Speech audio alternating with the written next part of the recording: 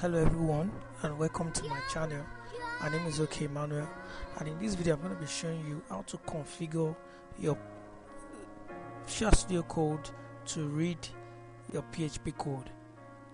So first and first I'm going to open my Visual Studio Code. So Visual. Now I really am not necessary to do all of this but just for you to understand um, I will open my XAMPP um, you can get my video on how to install a local server like XAMPP onto your system. So I'm just going to create a new folder right here and call it um, a name that we apply to what I need. So I'll call it um, voting system. So I'll be creating a new set of videos on voting system. So now I only need to right click here and click open with code. And Visual Studio Code is going to give me this interface. Right now what I would need is that yeah you trust the authors of the files in this folder. Um, yes I do trust the author.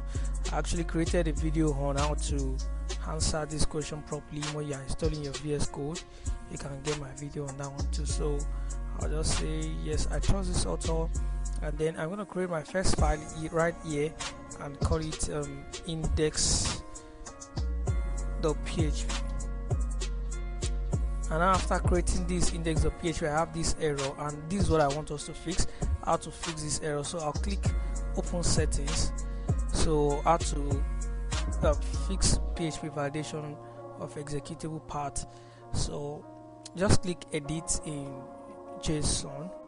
So JSON is JavaScript object notation. So uh, if we can see that there's no valid part that uh, VS Code can read to fix the PHP code or to interpret the PHP code.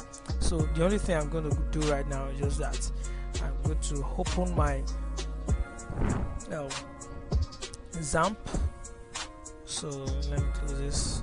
I install my XAMPP in my root folder which is what I also advise everybody to do most times. So yeah I'll find this PHP folder and then inside this PHP folder there's php.exe that's the executable file for PHP so this is it. Is this PHP application this one as application is the exe so by right click and check the properties of this you can see .exe so whenever I see the application it could be the .exe so not this configuration settings this one. So what we're going to do right now is that we're going to copy this part. So if you installed your XAMPP in some other places apart from where I installed my own. Just navigate directly to the place and look for your PHP or you, any local server that you're using.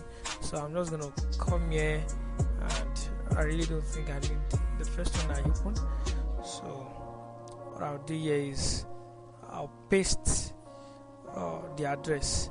So how I got the address I just clicked here and control C to copy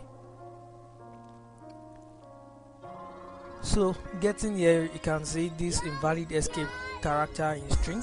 Just don't bother about it. You are going to fix this right here. Uh, we can make it either a backslash or a forward slash and you just have to add one more to it. Let's say slash php dot exe. Uh, do what I do here. So I'm just going to change this to a forward slash and change this to a forward slash so if I on zoom these are the errors I brought before.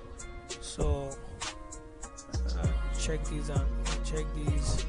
And now that's what it is basically settled let me close this file. Automatically I use an auto save if you are not using auto save just press ctrl and S on your keyboard.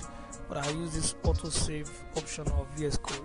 So automatically this has been solved. Just put C and then this is the path to the executable uh, um, application of PHP another way you can do this is to make is to add your php to path so i'm not going to cover all of that right in this video. I'm just going to cover this one for the sake of uh, what exactly i want to um, drive here.